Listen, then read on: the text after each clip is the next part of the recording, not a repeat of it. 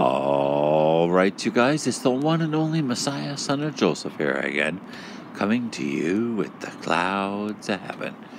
I just came outside for some fresh air and thought I'd uh, film the clouds and see if God will create a, his usual face for 314 to show that he's here.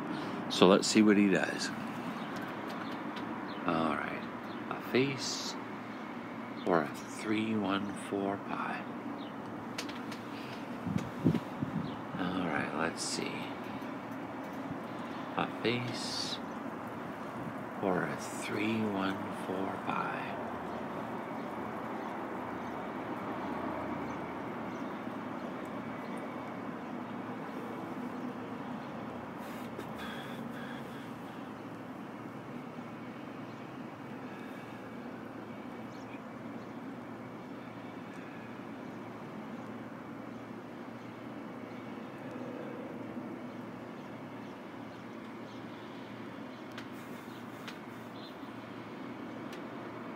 Oh, hang on a second there. There's sort of like an eye right there, an eye right there, a nose, and then a mouth.